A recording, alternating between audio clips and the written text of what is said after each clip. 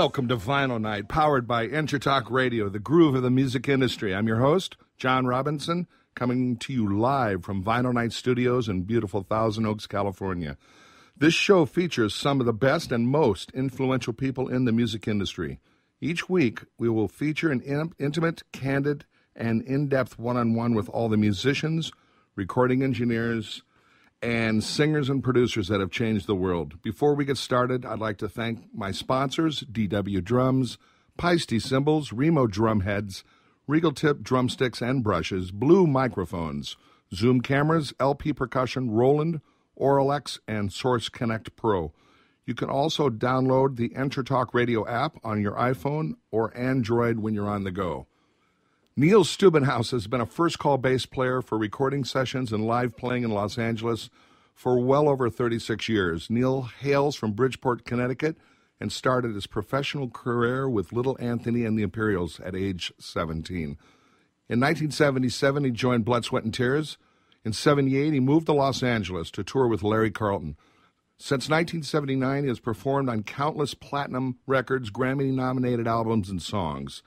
He has recorded over 500 movie soundtracks as well as numerous jingles and commercials.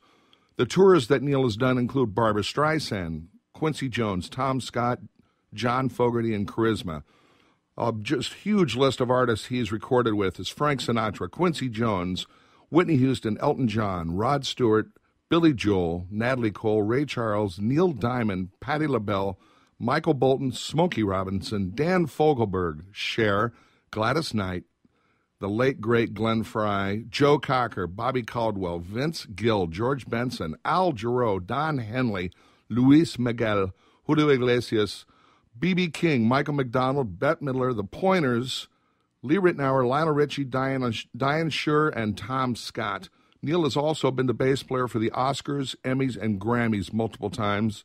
He's won the MVP award from the NARAS LA chapter in 86 Berklee College of Music gave him the Outstanding Achievement Award. He's played on over 70 gold and platinum records and over 70 songs and albums that have been nominated for Grammys and 20 songs that won. Ladies and gentlemen, the king of the downbeat, the godfather of time, Quincy Jones' favorite bass player, Neil Stubenhaus. Welcome to Vinyl Night. Why, thank you, JR. and and it's, and, it's, and, uh... and I and I must say that that JR is the most handsome drummer ever ever created on the planet. Ah, well, you got to thank my parents for that. That's very nice. That's Neil. why we call him Handsome Johnny. well, listen, welcome aboard, man. And Why, like I do with most of most of my guests, I I start uh, kind of like uh, young Neil. You know, back at Bridgeport, man. Uh, how did you How did you get into music, and how old were you? Uh, I was about ten, and um, and I bribed uh, I bribed every official in town, something like that. I had I had a I was a drummer, and I had a set of drums and and joined a band and played Wipeout and and Beach Boys songs and uh, and other things like that, and had a good time, and eventually picked up a guitar and threw that away to play bass. That's the shortest version of a very long story. but ten, I would well, say about ten. I was ten years old. You're 10. Now, were your parents uh, musical or did they influence you that way? Yeah, my mother was a classical pianist, and uh, she played all the time. But she she was very you know classical only, no no pop in her in her blood really. But uh, you know, and she was from that era where it was everything was about either about uh, big bands or symphonic, and um, and I just like to hit things, so I banged on everything, and they finally got me a pair of bongos and some drum lessons. did you get yelled at like I did at the kitchen table? That was me yelling at you. now, I, um, not that? not really, but I got yelled at by school teachers for you know banging pencils on desks. That was about it. Yes, I think that was our jobs, you know, as little kids, is to do that and you know, annoy, rhythmically annoy people. I annoyed everybody who I could possibly annoy, until finally they had me play a snare drum or something in, the, in one of the in one of the presentations at school, and then everybody changed their minds. Did you did you actually go through uh, you know all the uh, snare drum method books or some of them? Some of them, yeah. Some of them stick control and um, and uh, modern what was it? Modern techniques, Yeah, yeah. Uh, syncopation. syncopation. Yeah, I went through a lot of them. I like them. Well, that, that that was when you were playing set, though. But what you know? What about when you were just playing snare drum? That was actually before I was playing set. I was going through them when I just had Oh. a pad and uh, and a snare drum. I had a snare drum with a little seven-inch cymbal attached to you know on a little piece of metal attached to the snare. That was that was it. Then I had to build a, a kit from you know from a just a snare, bass drum, and a tom tom, and then uh, added a few cymbals and a floor tom and hi hats, etc. It was a slow go because I had to rake the yard to get to get the money for the drums. Hey, listen, that's the way it should be. I know. I'm gonna. As a matter of fact, as You know. soon as this interview's over, I'm going out to rake the yard again, see what I can get up. I, uh, gosh, I wish there were some leaves in mine. Um, uh, so, what was? Do you remember the first record that you listened to besides your mom's classical influence? um, I th- my father used to had 78s, and he played. Uh, he played a, a lot of. Um, he played Bessie Smith, and he played uh, played a lot of old, old records that that caught my ear, and. Um, and and I don't know a couple of boogie woogie type things that that got me excited. Right. Just that, just something, Right, so- something, something that was exciting, fast, and had a beat, and I loved it. And I loved all the all the jazz records he played. He had, Right, uh, so he had, he had a lot of a lot of good stuff. Some sort of a blues um, uh, influence at that early age. Absolutely. Yeah, well, he he was he had good taste, and and that helped. That helped. I, I I don't know what led to what, but I knew that um, as soon as as soon as I I caught my brother listening to the radio and listening to Motown tunes, that was it. I was hooked. I needed I needed to play in a band. Well, what what um, what stopped you from playing drums? I I'm not really sure, but I went to see I went to see a lot of bands, and I saw a particular band where the drummer all of a sudden came out front and picked up a Stratocaster and started playing, and I and I felt almost uh, a little bit of uh, pressure that I, that I shouldn't just be playing drums. I should get out front a little bit and and learn more. And my little sister had a guitar and took a few guitar lessons. So I took her guitar and I started uh, mimicking what she was doing. And I thought it was pretty easy. And I was in a band with a guitar player who, uh, uh, a nice guy, but not a very good player. And after about four months, I was playing better than him. So he got um, he got he got upset and quit. So, Oh, so we boy. so we hired a drummer and I started playing guitar. That's that's Oh, the long no. and short of it. Was this drummer? Did he play better than you at that point? Um, I, I, I wouldn't say, I wouldn't say better necessarily, but but uh, I'm I'm sure that I influenced him, and he's one of my best friends uh, to this day. And um, and I don't, I couldn't know better from from worse, or you know, because everything is so different and subjective. But but he played great, and I played guitar, and and that lasted as long as it could until I started playing with a guitar player who was far above my my pay grade, and he said, "Let's start a band, but you can't play guitar because because uh, I'm better than you. Why don't you play bass?" So I said, "Sure, I'll play bass." So I picked, so I grabbed So the what, bass. what what age was that? That was about 15, maybe 14 or 15. Because I, I, I was learning all the bass parts for every bass player I worked with, and I picked them off the records and taught the bass player the bass parts. So I already loved the instrument. I just thought it was, it was, it was the, the center and the control with the drums of of everything. The, the uh, at that time, the most ignored part, the most you know, the, the least amount of focus was on the bass and the bass lines, except for the experienced musicians and, and bass players. But there weren't that many. There were bands like the Young Rascals and, and others that had no right. bass player. It, it didn't seem to be important enough.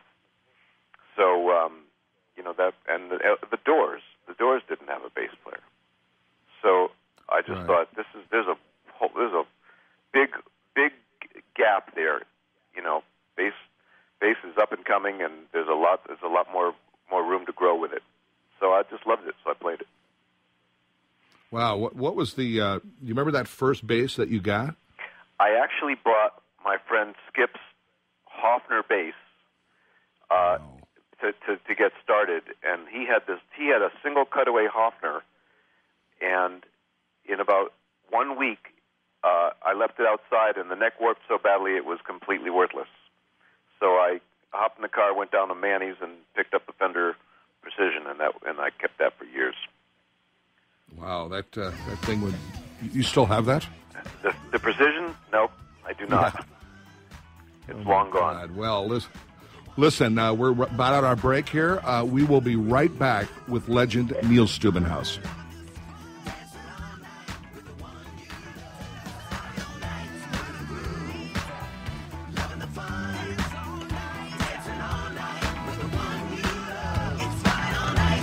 Are you serious about your music? Are you ready to run with the big dogs? The experts at Pitbull Audio have the gear to get you into the game. From leading manufacturers like Mesa Boogie, Fender, Pioneer, and American Audio. To sound your best, you need the best. Pitbull Audio can deliver in rehearsal, on stage, and into the big time.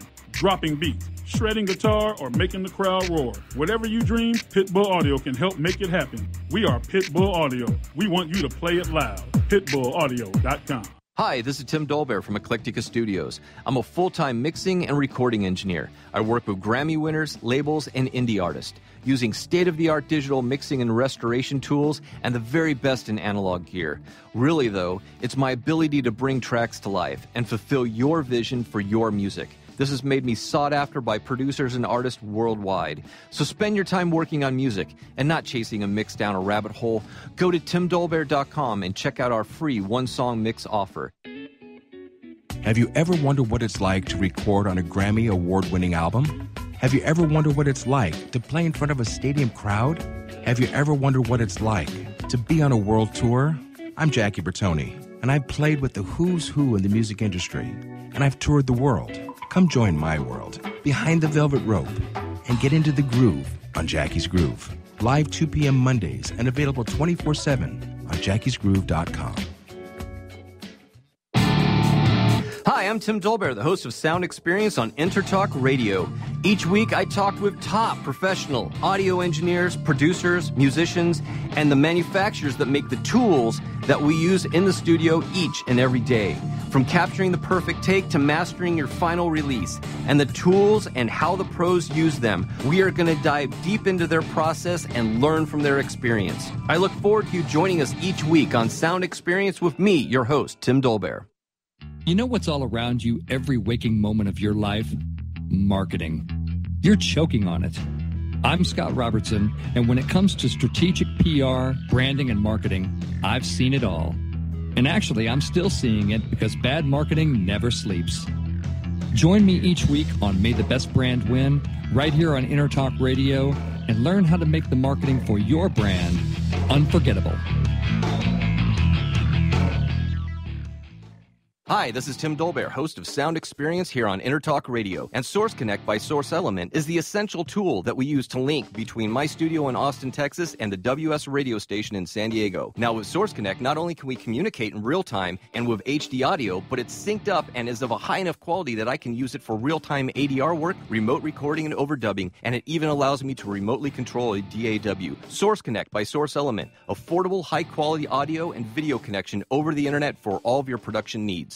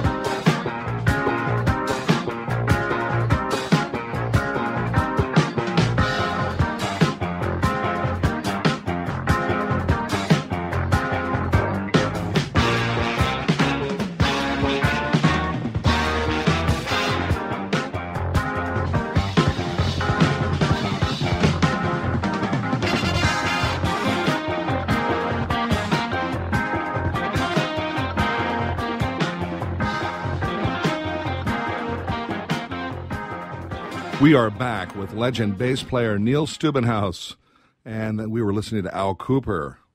Um, Neil, when Yes. you were just you know getting out of Bridgeport and, and playing with these bands, you had gotten more comfortable on bass. Did did you go to any like camps, summer camps, and stuff?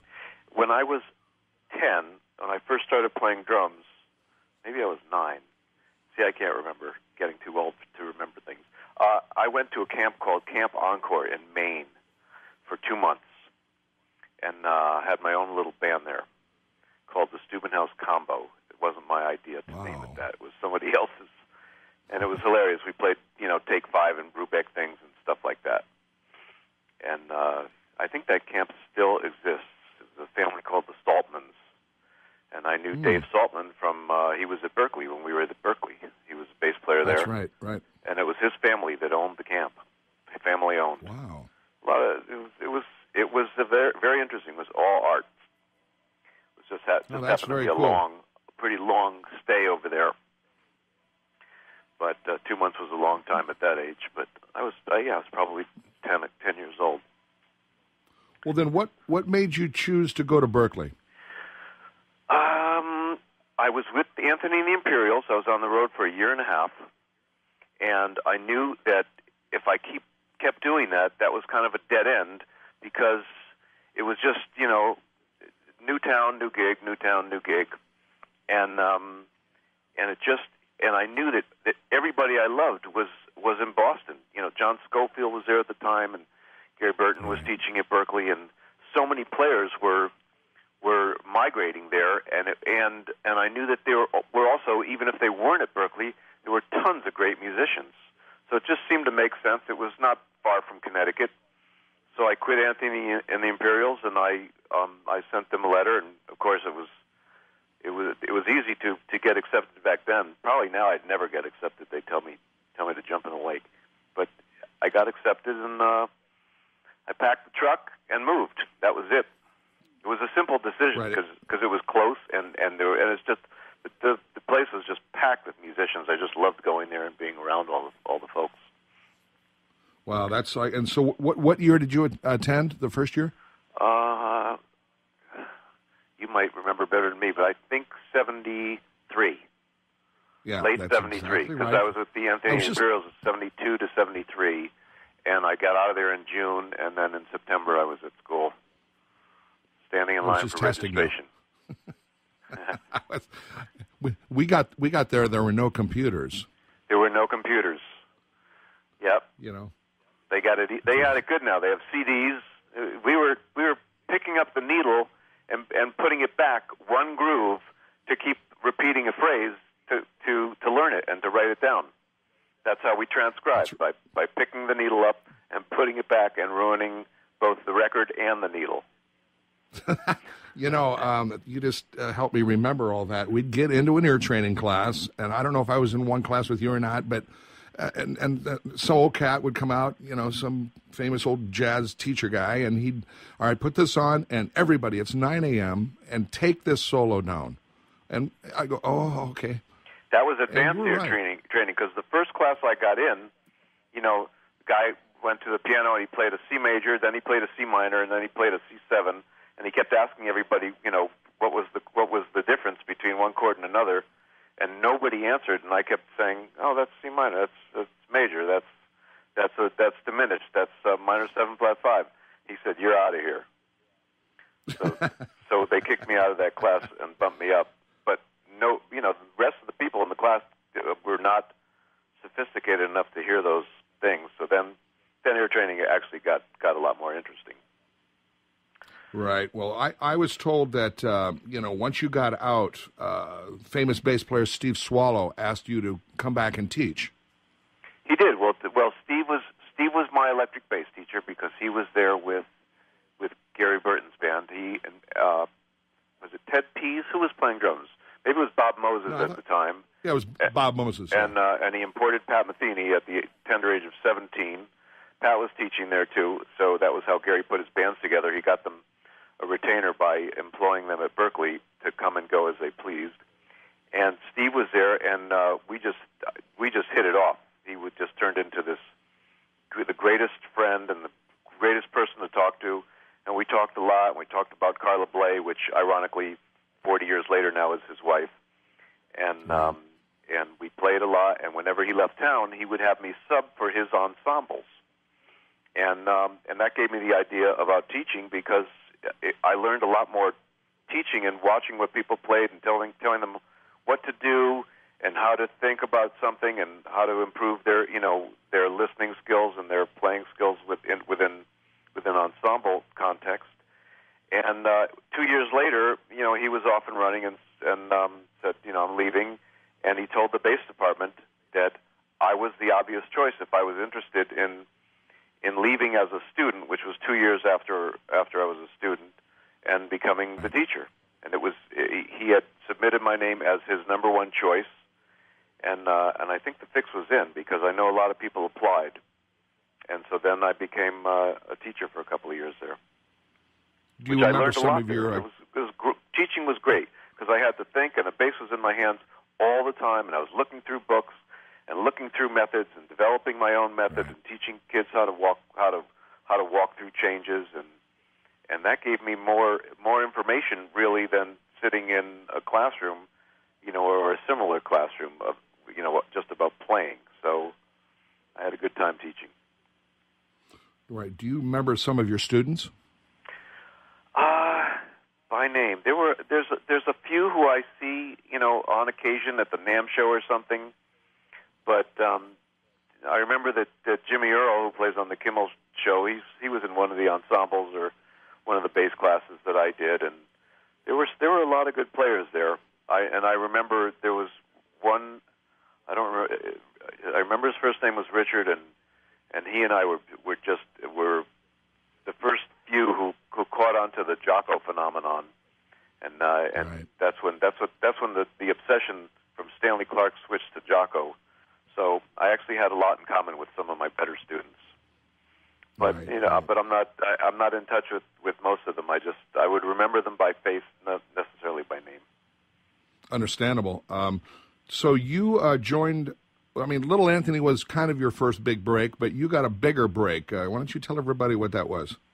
Well, when I was um, I was teaching, and I was also gigging every night. I had I had six night a six night a week gig somewhere or another with a little trio that I kept together, and uh, that uh, was actually a quartet, which included my wife at the time, and she sang. And um, we went through a couple of halfway decent drummers. One was Steve Smith from Journey, and one is Vinny Colaiuta, who who floats around and has made a pretty good name for himself. And and we played six nights a week in all these different places. Uh, Steve and Vinny used to get me get, get us fired though because because they would take it a little bit too far, and somebody noticed, which made it much even that much more fun. And um, right in the middle of all that, that was starting to get a little bit stagnant to me. And uh, and Mike Stern called me up and he said he said, "Hey man, Blood Sweat and Tears needs a bass player right away, man. So pack your bags." So I did. that was it. So that was in '77. Seventy-seven, yeah. You, so you joined BS, BS&T in '77. And who was playing drums at that time? Uh, Bobby Economou. Right. Economou had Great- just had just taken over for Colomby because uh, I think Bobby uh, Colomby had you know he was really getting pretty pretty well um, entrenched in the um, in the A and R department at uh, at CBS at the time, CBS or Epic, one of the one of Right. the two, and um, and he was going to concentrate all his stuff there and supervise the band and produce. So that's what he did. And Economou was the, was the drummer. Great drummer, good, very good friend of Jaco's. I think that was Jaco's pick for Blood, Sweat, and Tears to say get get uh, Economou. He plays. He's on one great cut on the Jaco record, on the first Jaco record. Right. Um, That's I right. Think it's Speak, right. Speak I Like love a that Child. record. He's on Speak right. Like a Child. So, So uh, you- you're still you're still based out of Boston at that time. Uh, when were you? Uh, and you made the LA move just shortly thereafter. Well, Blood, Sweat, and Tears fell apart from a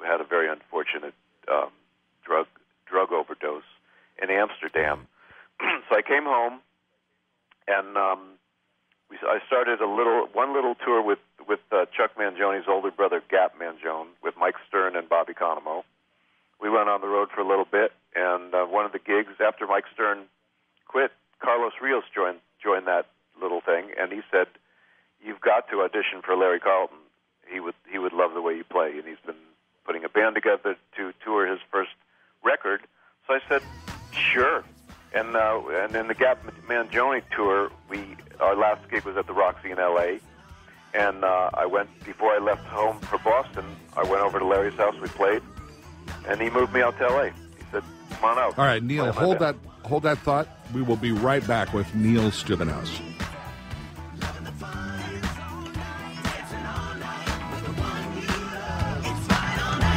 Hey, it's Catherine from Listen Local Radio. Moze Guitars has proudly served the San Diego music community since 1975. Specializing in guitars, basses, mandolins, banjos, and ukuleles, they buy, sell, trade, and consign. If you're looking for lessons, repairs, accessories, and cool gear, you found the right place. Located in downtown La Mesa Village, stop by and check out their digs or visit mozeguitars.com or their Facebook page. M-O-Z-E guitars.com, 619-698-1185.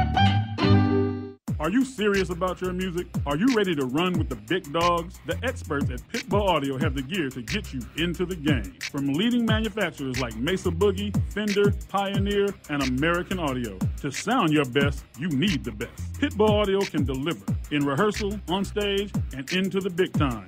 Dropping beats, shredding guitar, or making the crowd roar. Whatever you dream, Pitbull Audio can help make it happen. We are Pitbull Audio. We want you to play it loud. PitbullAudio.com.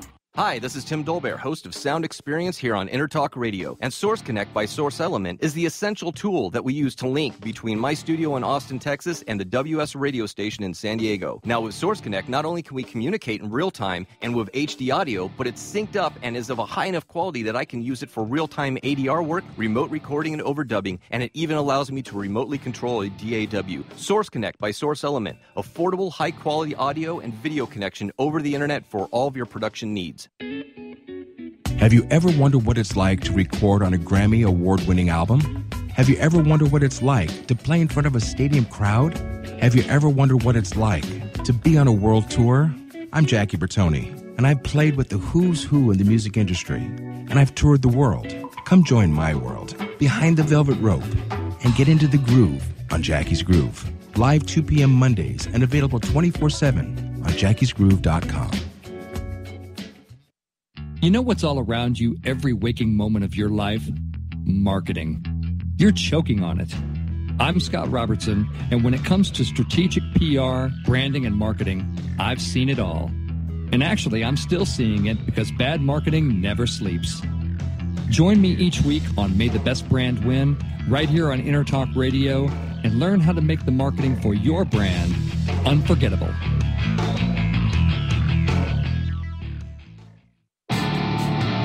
I'm Tim Dolbear, the host of Sound Experience on Entertalk Radio. Each week, I talk with top professional audio engineers, producers, musicians, and the manufacturers that make the tools that we use in the studio each and every day. From capturing the perfect take to mastering your final release, and the tools and how the pros use them, we are going to dive deep into their process and learn from their experience. I look forward to you joining us each week on Sound Experience with me, your host, Tim Dolbear.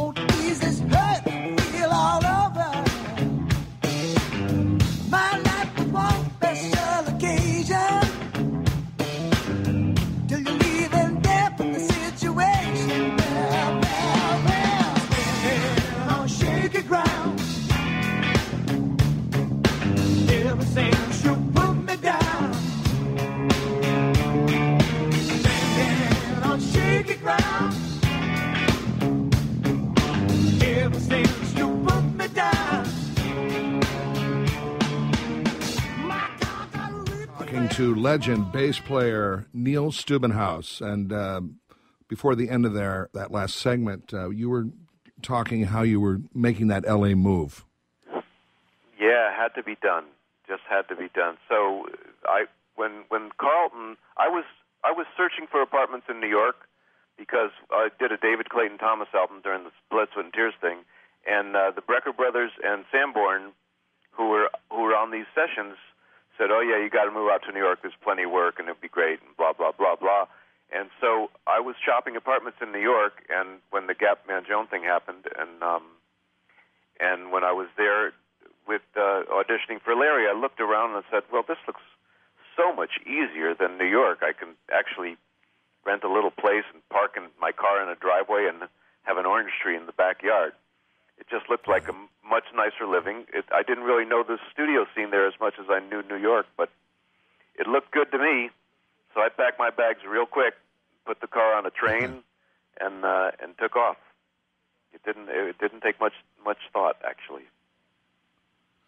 Right, and that was in uh, '78, right? '78, yep. And and little did I know that there was an exodus from Boston to L.A. You were you were on your way. Uh, Vinny was on his way. Um, Alan Yeah. Pasqua. There was a whole group of musicians that that I was friendly with and played with, you know, everywhere in in Boston. And who knew? Everybody was just converging and moving to L.A. without discussing it with each other. It just seemed to be a mass a mass exodus of Boston, and, and Los Angeles was the place. Only the diehard, Right. um, you know, the jazzers, the sax players, and what have you, moved to New York, which is the better, which is better for you know if you want to play, if you want to play, you know, hardcore jazz, is to be in New York City. But uh, but L.A. was L.A. was the place to go and and enter the pop world and R&B. Do you remember your which your your first recording experience once you got into LA, or how long did it take you to get get that call? Uh, not not that long. I was touring with Larry, so Larry was such an icon that everybody asked about. You know who the who was the the, um, the import, the carpetbagger that he that he hired to come to L.A. And so that it helped. I started doing Mike Post uh, television sessions. You know the Rockford Files and, and um, whatever else Mike had going at the time. And I met Tom Scott, and I met a bunch of people in those things, and it just it led to sessions almost instantly. There was so much work. There was a lot going on. There were there were a lot of different players. Mike had sessions that were, you know, sometimes 40, 50 pieces. So so there were there were players everywhere who were who were all just and, and everybody wanted to hire, you know, the, the the newer the newer players in town rather than necessarily, you know, jumping to the established players because at that time there was so much work. The established players were hard to get. They were there was a list of you could call five bass players and all and all five of them could say no I can't make it. So everybody was looking for new talent, so that that helped a lot. Wow, yeah, it's, there was an abundance of work, and, and I think that that's uh, obviously something today that is not uh, happening. But in, and when we broke in, there was we, we could actually learn how to juggle. It was fantastic. It was. It was. I saw. it, Uh, I ran into Jay Graydon at the at the Ringo Starr show a few weeks back, and Jay said, Jay put it this way. He said, "We we won we won the musical lottery because that was the perfect time when everything was creative and there was a ton of work, and pl- everybody was playing with everybody, and and records had big budgets, and everybody was hiring. It, wa- it was it was a, it was a whole different era. It is absolutely not that way now." So he called it the lottery. I kind of I kind of like well, that. it's I do too. It's I well, like well stated. Uh, you know, you introduced me to the TV film business. Yeah, ha- ha- had to. They had to know Jr. they were missing out. Well, you know, I was I was stuck in a in a in an R and B rock band, and and uh, but uh, it was it was fantastic to be able to apply things that we knew and um, and meet new you know new players. Yeah, well, plus you know the the record world knows what they know what makes a good record because that's the world they live in. And you know, it's, when we were we were it really hitting it when we were doing the early Quincy sessions in the '80s, '80, '81, the Ernie Watts record, if you remember that, and and Oh, yeah. and a bunch of James James Ingram sessions that probably never went anywhere, and Donna Summer, and and he was just producing one thing after another. and the television world is looking to the record world to make their stuff way hipper than they know how to write it. So they loved having folks like us to just look at the paper and you know and and modify it where necessary to make it sound contemporary. So it, that was a that was an easy fit. Right. How how do you w- would you describe yourself as a a chameleon musician?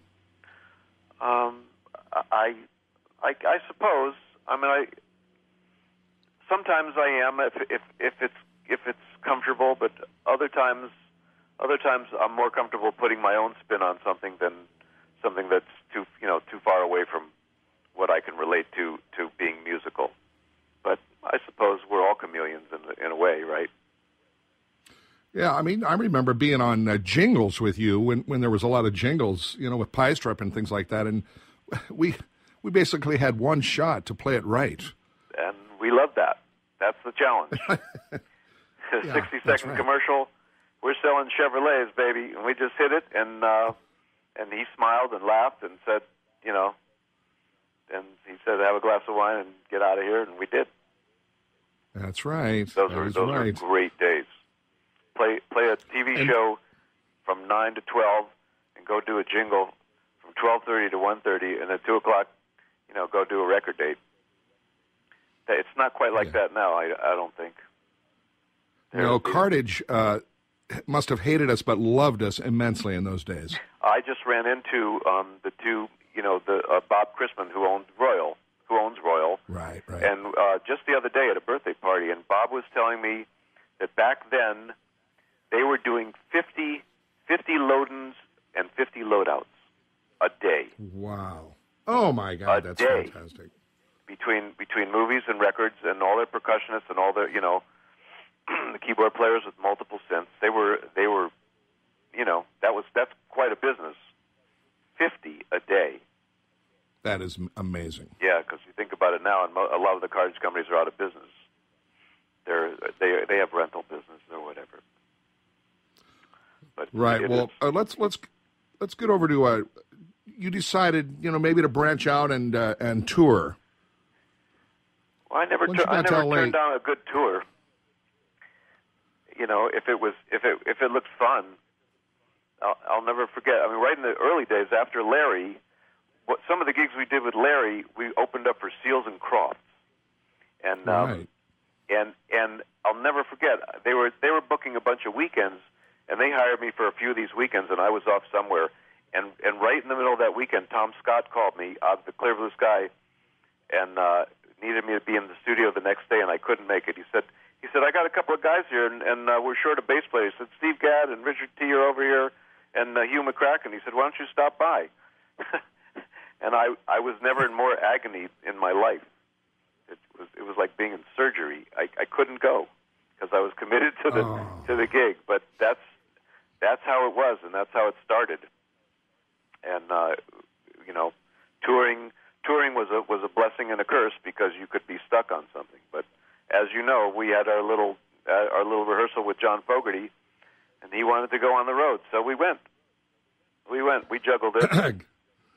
we we did juggle it. Can you can you share the one one phrase that John told you and I in the alleyway outside Leeds? uh, uh, don't get too educated. That one. No, well, it was similar to that. Uh, it sounds like you know it better than me because I remember telling him that my daughter was going to go to Berklee. He said, "Well, don't let her learn too much." Well, no, this this was similar to that, and he goes, you know, we're going to have to rehearse the blues. Oh, well, that was. I thought that was in the middle of the tour when he didn't. He thought we were we were being a little bit too creative. He wanted to rehearse the blues. Yeah, I'll never. I think yeah, that. maybe you are right there. Yeah, yeah. Yeah, it was somewhere in the tour when uh, when Alan Pasqua was playing it a little bit, a little bit too creatively. He said, "I think we need a, a, a rehearsal just to rehearse the blues." So, you know, that's a good idea. What, what are you doing tomorrow? Why don't we rehearse the blues? I think that's a great idea. I got a few records I'm Oh. gonna brush up on. Oh my God! Oh jeez. That Um, well, I mean, ob- we we had a great tour. It was the uh, baseball tour, if I'm not mistaken. The baseball tour. Yep, yep. Uh, it was uh, put me in coach. Put me in coach uh, Simmons Claptrap. Yep. Well, Yeah. you know, we we did some we did get some good stuff there. That was great. It was fun. We had fun. And now, uh, But, you know, that now was- Alan is teaching and Marty is teaching. They're both at at uh, different schools together. Life moves on. Life does move on. I'm, I want to hear uh, when we come back with Neil. Um, I want to hear some um, studio horror stories. We'll be right back with legend Neil Stubenhaus.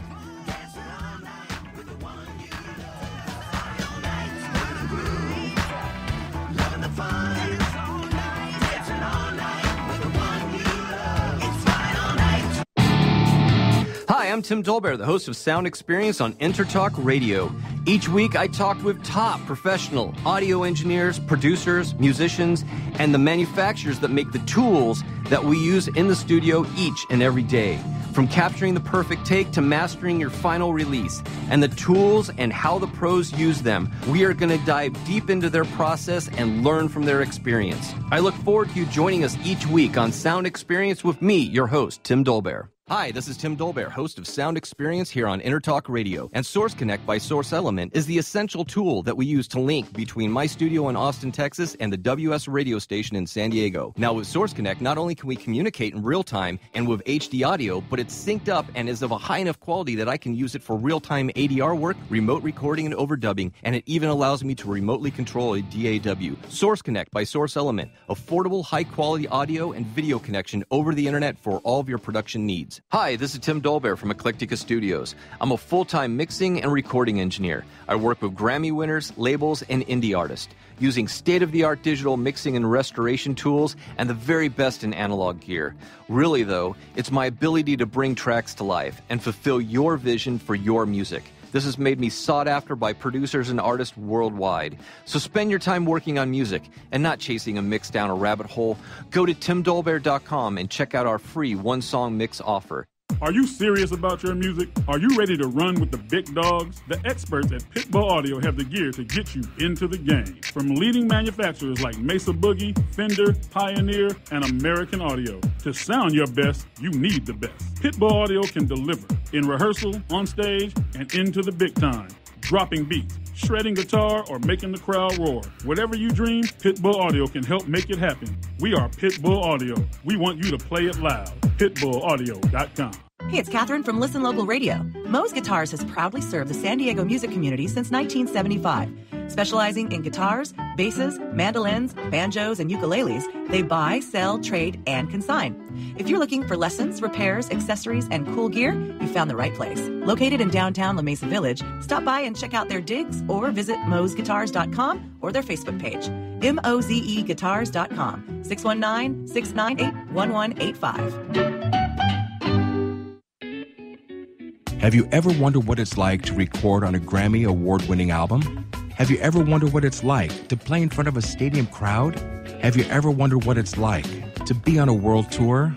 I'm Jackie Bertoni, and I've played with the who's who in the music industry, and I've toured the world. Come join my world behind the velvet rope and get into the groove on Jackie's Groove. Live 2 p.m. Mondays and available 24 7 on jackiesgroove.com.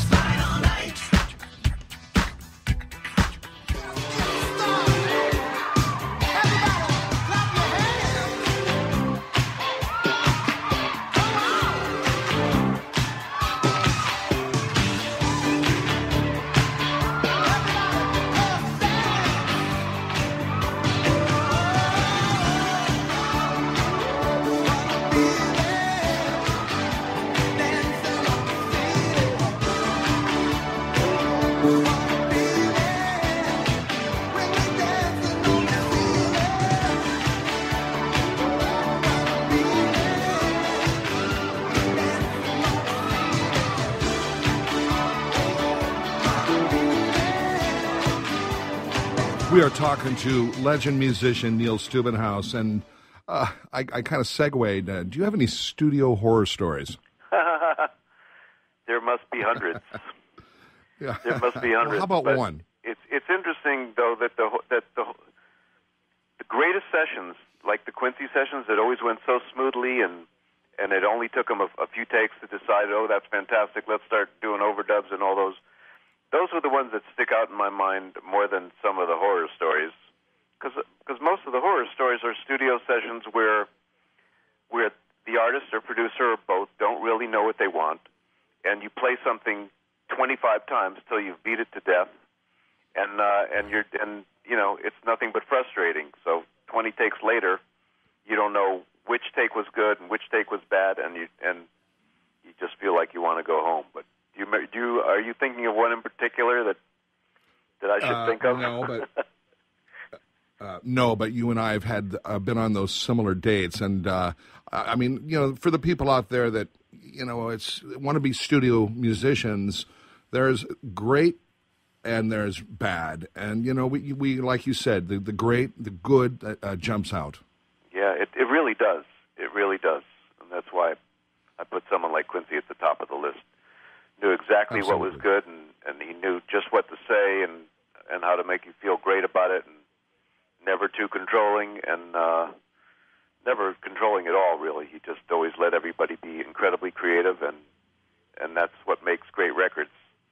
If everyone could could hear that and you know and witness it, if they could learn from it, because you don't you don't need to tweak everything right you know down to the to the finest synthesizer you know pre pre recorded track that uh, that has already been established because that's not going to get the best out of each musician. But it's a different business today. But back then it was that was fantastic. Just playing with Well, you know what you knew what, what was right. There are some Well, horror stories. well I don't know that they're all worth telling. You No, know, no, just, you just- the, the worst thing was playing something a thousand times and and knowing that it, that you were trying to polish a turd. You know, if the song was Yeah, great, well- it played itself, right? That's right. That Yeah. is exac- exactly right. And uh, and, if the song uh, was knew was how to. Br- either ordinary or just not that good, then um, then you did your best. And you know, we you know you you know we made a lot of changes to make it logical and and uh, polished it off and moved right on to the next song. So yeah. I'm trying to think of a, a particular horror story, but some of them Uh, are some of them uh, are difficult to repeat. Well, some I think some of them are just will be- funny, funny legendary stories, but but they all happen. Those will be in our in our books. Those will know, be in the uh, book, when- yeah. When when book. books are free, Um, yeah, when books are free. so that Yeah, so that we can make inside. no, we can make no money, you know, writing books and selling those too. I can't Well, wait. You know, I like that point oh oh oh five cents from Spotify. That's yeah, I, I don't think it's that much. Neil, you've been an advocate for decades for helping musicians, and um, uh, you know, how, how do you you know talk to the young kids today? Well, the first thing I do is tell them that they cannot be ignorant to the business, the business side of the equation, because the, on the business side, there are the people with, with the least amount of creativity, but incredible creativity with with money and finance and and uh, taking advantage of people. They're going to make more money than a, than an artist or a player uh, nine times out of ten because they know how to do that. And um, it, it, it behooves all the mus- uh, all musicians of any age to, to really learn learn about money, get smart, protect yourself, and uh, and understand understand business and understand you know how to how to read people and know who you can trust and who you can't trust and where you have to to walk that fine line of getting the gig and getting what you deserve. You've seen it many times. Right, well- how many people who are, who are brilliant at, at getting a gig, and then uh, and then after that they may not, they may not, may not see a dime because because everybody else knows how to get get at the money first and it, it's right. a shame to see so many musicians starving and, and struggling in their later years when uh, when you know it it just takes a little bit of a, a little bit of extra effort to understand where where the money goes and you know where it falls and how it gets there. So so as you know, wow. I've been I, I've been on lots of groups and committees and things that have um, that have fought the good fight for musicians to get uh, what they deserve. The biggest thing we're fighting for right now is performance rights.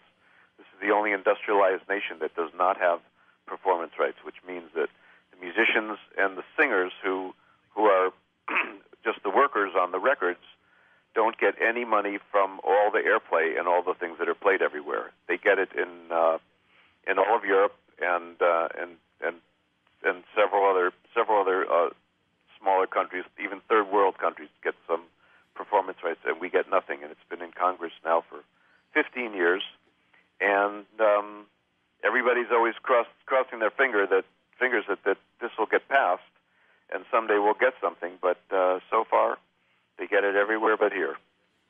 So you know we we fight for that, and we should be. That- That would that would actually help a lot to get some mailbox money. Well, you know, and a lot. I think our listeners. Uh, there's a lot of people that are, you know, glamorized by, you know, careers and you know people that have made and changed the world, like you, and uh, but they don't understand the entire dynamics of this. Well, how could they? Because it looks really great from the outside, and it's because it's because it's one of the most fun things you can possibly do to make a living is is play music. You know, it looks it looks uh, it's very it's very uh, enviable from the outside. Everybody wants to do it, but it but on the inside there's there's good times and there's bad times. There's great great musical uh, experiences and there's like you said horror stories. You know, where everything looks rosy from the outside, and and then you find out they're not having such a good time on the inside. It's like all those heavy metal bands and all those you know all those bands who are kind of still together or try to do reunions, but they but then when they you hear them talking, they all hate each other. It's fantastic. That's the good news about us. We all we we all like each other. We're all good That's friends. right. We eat I together. we, we Uh, we play together. We do we we do lots of stuff together. It's fun. It's it's the best way to do it. Hey Neil, Yeah. while this uh, uh, shorter segment winds down, how can people get a hold of you? Um, that's a good question. Uh, the the ones who I trust have my phone number. Yeah, I get it. I, I can be reached. I can be reached, you know, through through through even the phone book. Believe it or not, but but I don't I don't uh, have a current a current active website because it's just not my thing. But I should. I know. Uh, I, I'll get lectured Well, about that as through soon as we get Facebook, phone. can get get a hold of through Facebook, I believe. Yeah, there's a Facebook page that that has uh, lots of information, and a and a fellow by the name of Laurent. He Laurent Bailey. He knows he knows everything, and he runs it for me. And uh, he's a real sweetheart out in, in I think he's living in in Lebanon, as I recall. But he runs the page, and he and he uh, he gets information to me. Anything that people ask and want a response to, uh, I get them a response from through that. Listen, you've been listening to my friend, legend bass player Neil Stubenhaus. Neil, thank you. You've been listening to Vinyl Night, powered by Entertalk Radio, the groove of the music industry. I'd like to thank Neil Stubenhaus. You can reach me at jr at vinylnight.com. Make it your vinyl night. Are you serious about your music? Are you ready to run with the big dogs? The experts at Pitbull Audio have the gear to get you into the game. From leading manufacturers like Mesa Boogie, Fender, Pioneer, and American Audio. To sound your best, you need the best. Pitbull Audio can deliver in rehearsal, on stage, and into the big time. Dropping beats, shredding guitar, or making the crowd roar. Whatever you dream, Pitbull Audio can help make it happen. We are Pitbull Audio. We want you to play it loud. PitbullAudio.com. Have you ever wondered what it's like to record on a Grammy award winning album? Have you ever wondered what it's like to play in front of a stadium crowd?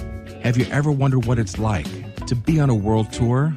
I'm Jackie Bertoni, and I've played with the who's who in the music industry, and I've toured the world. Come join my world behind the velvet rope and get into the groove on Jackie's Groove. Live 2 p.m. Mondays and available 24 7 on jackiesgroove.com. Hey, it's Catherine from Listen Local Radio. Moze Guitars has proudly served the San Diego music community since 1975, specializing in guitars, basses, mandolins, banjos, and ukuleles, they buy, sell, trade, and consign. If you're looking for lessons, repairs, accessories, and cool gear, you found the right place. Located in downtown La Mesa Village, stop by and check out their digs or visit mozeguitars.com or their Facebook page. M-O-Z-E guitars.com, 619-698-1185.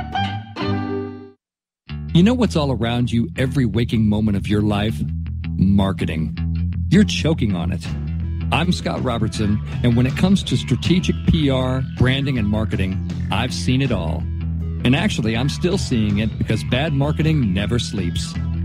Join me each week on May the Best Brand Win, right here on Entertalk Radio, and learn how to make the marketing for your brand unforgettable.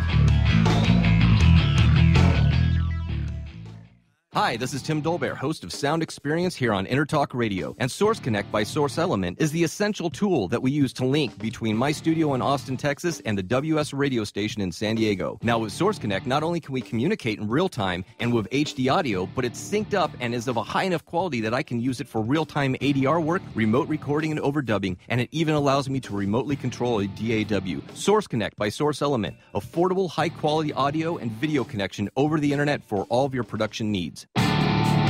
Hi, I'm Tim Dolbear, the host of Sound Experience on Entertalk Radio. Each week, I talk with top professional audio engineers, producers, musicians, and the manufacturers that make the tools that we use in the studio each and every day. From capturing the perfect take to mastering your final release, and the tools and how the pros use them, we are going to dive deep into their process and learn from their experience. I look forward to you joining us each week on Sound Experience with me, your host, Tim Dolbear.